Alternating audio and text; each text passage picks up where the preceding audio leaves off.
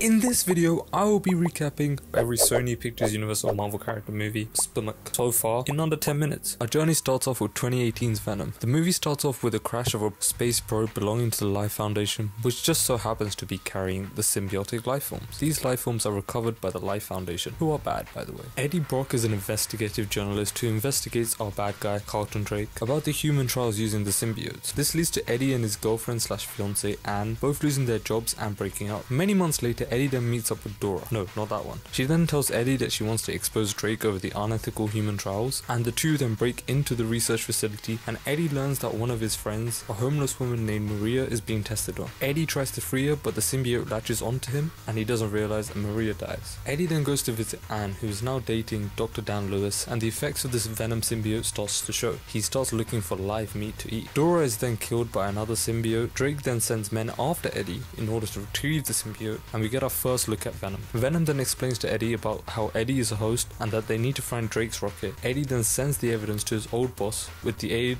of Venom, leading to yet another chase, and then finds out about Venom. Riot, which is the symbiote that was used to kill Dora, then bonds to Drake. Dan then tells Eddie that Venom is killing him, and Anne fires a really loud frequency causing Venom to be removed from Eddie's body. Drake then captures Eddie whilst Venom bonds to Anne to save Eddie. Eddie and Venom share a kiss, with Venom being the ultimate wingman, and Venom says that he has decided to stay because like Eddie, he too is a loser. Meanwhile, Drake, who's now bonded with Riot, launches a rocket to the symbiote's home planet to return with an invasion fleet, and our heroes try to stop this plan. Venom and Riot fight each other with the usual stakes at play. Venom blows up the ship containing Riot, and since fire is the symbiote's weakness, Riot dies and so does Drake. Eddie then makes a deal with Venom that he can only eat bad people. We then see Mrs. Chen's store get robbed, and we see them dropped the best line of the film. We are Venom. The post-credit scene shows the scene from Into Spider-Verse, but we don't care about that. Instead, we care about this one, which shows Cletus Kasady, a serial killer, which leads us to our next film, Venom Let There Be Carnage. The film opens on a flashback of young Cletus as he watches his love, Frances, being taken away from the orphanage to the Ravenscroft Institute. On the way there, she uses her powers of sound manipulation and attacks a young Patrick Mulligan, who loses his hearing abilities too. In the present day, Mulligan calls up on Eddie to interview Cletus once again, since he's the only one that Cletus will talk to. Venom then uses his photographic memory to find out where the body of Kasady's victims are. This then makes Eddie super famous, thus prompting a ban on the death sentence to be lifted, and Cletus is given the death sentence, to which he is obviously not happy, and invites Eddie to meet, and Anne reveals to Eddie that she is engaged to Dr. Dan. Eddie then once again visits Kasady, who then angers Eddie so much that Venom goes to attack Kasady, who then bites him and gets a taste of his blood. Then come the day of the execution, but right as the drugs are being injected into Kasady, Carnage rejects the drug.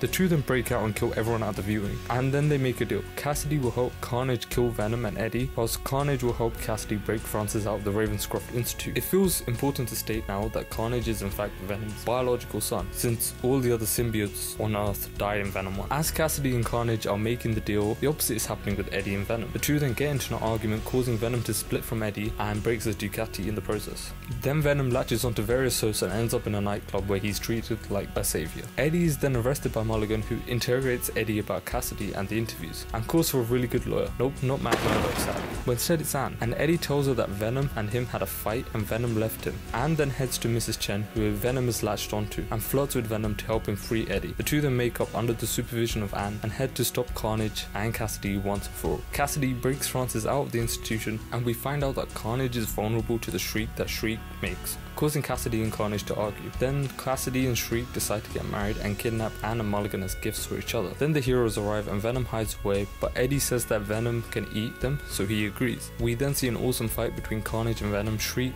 then shrieks, which Carnage does not like, which creates further conflict between Kasady and Carnage. And then we find out the reason why Venom and Eddie work so well is that because their relationship is symbiotic, which is something Carnage and Kasady lack. Venom then wins the fight and eats Carnage and the head of Kasady. The two then go on the run due to breaking out of jail and it's revealed that Mulligan also perhaps has the symbiote. After a banging end credit song, we see that Venom and Eddie are chilling on a beach in Mexico and Venom talks about all the knowledge the symbiotes have collected over the billions of years that they have existed for. Then they teleport to the MCU where they see a news broadcast of J. Jonah Jameson talking about Peter Parker, which nicely leads us to Venom's final appearance so far, and that is Spider-Man No Way Home. He's basically just in the post-credit scene and talks to the bartender about the history of the MCU and is determined to meet Spider-Man at which point he gets teleported back, but leaves behind a bit of the symbiote for future use. Next up we have the cinematic masterpiece that is Morbius. The film opens on a 10 year old Michael Morbius who has a blood illness that means he can't walk without crutches. He meets his new friend Milo who also suffers the same illness and they are cared for by their adoptive father Emil Nicholas. He then takes Michael to New York to pursue a career in medicine whilst he takes care of Milo back in Greece. Cut to 2019 and we see the greatest superhero of all time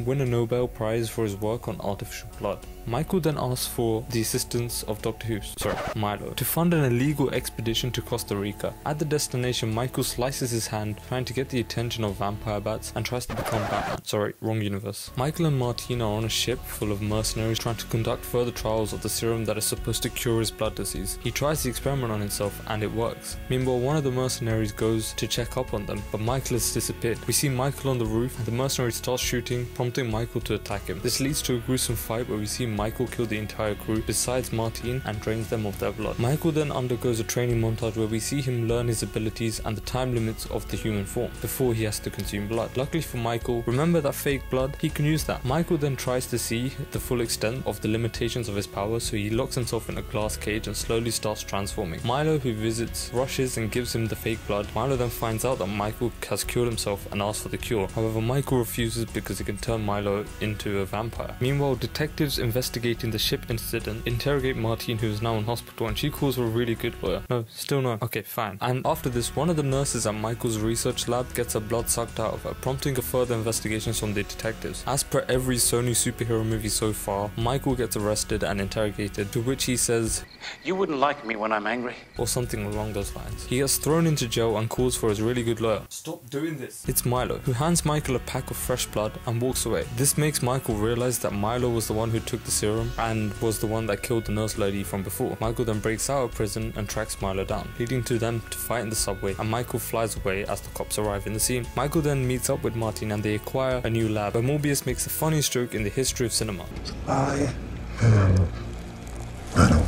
They then use this lab to create a cure for the vampireness of the serum. Milo then goes to meet Nicholas, you know, the adopted father, and then kills him. Michael arrives too late, however, and then Milo also kidnaps Martine and stabs her, causing her to also die. Michael then sucks her blood and starts to fight Milo. Michael then manages to summon an army of bats at Milo. Bro's literally Batman. Then Michael stabs Milo with the antibody and kills Milo. It is then suggested that Martine is also a vampire, having ingested some of Michael's blood. Then we arrive at the best post-credit scene ever. The first one shows Vulture arriving into Morbius' universe after the events of No Way Home, which doesn't make sense. Then the second one shows Morbius and Vulture team up to fight Spider-Man or something.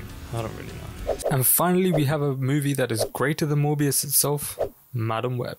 The film opens in Peru where we see a pregnant Constance Webb and Ezekiel Sims leading a research group gathering information about a rare species of spiders with healing properties. Sims betrays the research group and attempts to kill the entire group leaving Constance for dead. She's then helped by a group of spider people who tried who then help her give birth to Cassandra Webb and she dies soon after. Cut to 30 years later and we see Cassandra working in the New York Fire Department alongside a certain Ben Parker. She also then mentions to Ben during one of the missions whether or not he has been shot in Queens before. The two then rescue a man stuck in the car on the side of a bridge only for Cassandra to get trapped inside the car and fall to her death. She then experiences a weird vision and gets revived by Ben and she gains the ability to look into the future. She then attends Ben's sister-in-law's baby shower and they try to figure out the name of the baby. Let's pause right here. What do you think the name of the baby is? Could it be Ben? Could it be Richard Jr.? They leave the baby unnamed but I think we all know the name of the baby. Sims meanwhile is trying to hunt down the three girls Julia Cornwall, Anya Corazon and Mattie Franklin. These three are supposedly going to kill him in the future so he decides to kill them in the present. The three girls then